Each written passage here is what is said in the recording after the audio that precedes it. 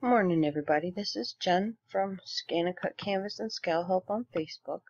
Okay, we're going to be working with nodes in this video. And when you work with nodes, some people get really frustrated, but after you do it a while, so practice a little bit, it actually becomes kind of fun.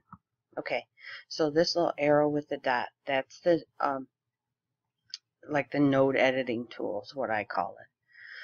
So as you see, this heart has four nodes. And when you click on this one, let's click off of this one, click on this one, you see it has these little things, almost like teeter-totters. Well, when you bring it in, it brings that side of the heart in. Oops. When you bring it out, you see that red piece moving out there? That brings it out. So when we say uh, node editing, this is what it means. It means making these nodes do what you want. And you can bring this one in, bring it back out, and that changes the shape of it. So it's actually really fun once you start playing around, and that's what I actually encourage you to do, is just start playing around, and that will actually build your skills. Okay, so now what we want to do is we want to um, show you how to uh, split the path. Okay? So now this path split way over here. Well, that's not what I want. I want to split this path here and this path here. Oops. Yep, it's going to act like a stinker. And sometimes you'll get those. But that's all they want to do is keep telling you you cannot do it. Watch, it's going to do it again. Yep. Oops. Let's delete it.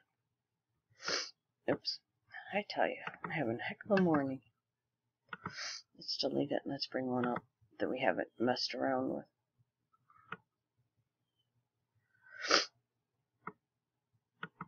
You see, I always, I don't usually ever mess with these toggles right here. I always change my size and center and using these buttons over here only. Okay, let's come back in here. Let's come here. I'm telling you, it's going to drive me crazy today. Let's choose our two points. This thing's kind of off since our new update, or since our update, our SCAL update. There we go. So I chose my two points, and it finally worked. And now it's split. Okay, let's choose the arrow. And you see, it's kind of extended right here for some reason. Normally this box should be right here. But let's, okay, normally when you hover over this, this arrow should turn into the four-pointed arrow, and it's not. Okay, so I can't select this. You see this line drawn down here, so it is separated.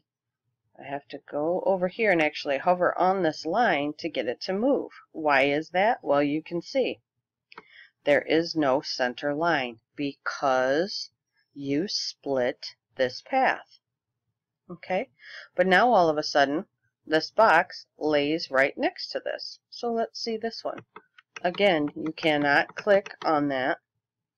You have to hover over the line and pull it back. Okay, well, I know that my cutter, in order to cut, look, these are the cut lines.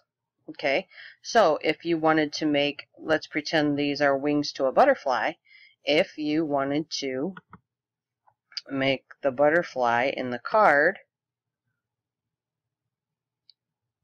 so that it looks like it's actually flying out of the card, you would leave it just like this because this part will stay attached to the card. This would be cut out so you could bend this part up and it would be it look like it would be flying. Okay, so if you send this file straight to the cutter, it is not going to cut out. What you need to do is close this path. Well, what should I do? Should I come in here and grab one of these straight lines and try to finagle it on here and then union it? No. I'll show you what you can do. You can either highlight these separately, come up here to path, close path. Let's see if it worked. Oh, by golly gee, there it is.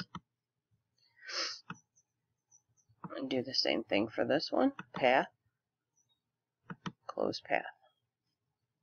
Preview. Always preview everything before you send it to your cutter. Always, always, always. Okay, that one is closed too. And you do not have to go up to Path Union. Look, it's not even available because you click Close Path. So that told the software to close all of your paths that are open. Okay? So there. That is how you go about splitting paths and then closing them so that now you have two separate cuts that started out originally as one. And remember, look at the trouble that I had um, getting the the nodes to actually work right. It kept giving us that error message. So that can happen. Just be patient. Um, it it will work for you eventually. Okay. Um, so anytime you try it, and now this had only four nodes in it. Um, when you start selecting things like get rid of this. This one actually turns out really cool. Um, I've used this in a quilt pattern. I'll show you. Let me center this. Okay, let's go over here.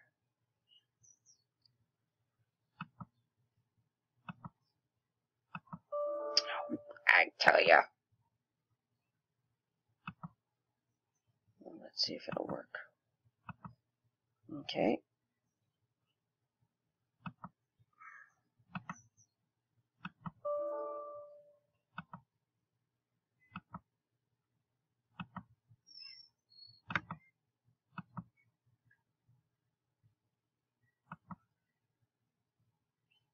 Come on.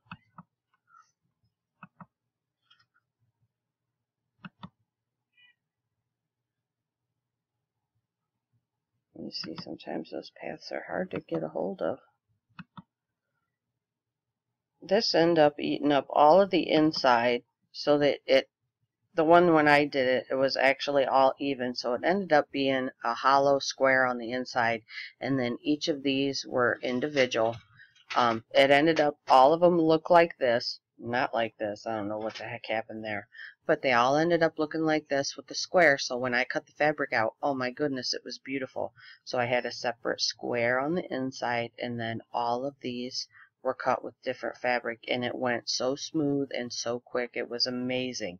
Okay, so there's lots of really neat things you can do with this when it decides to not give you the error message.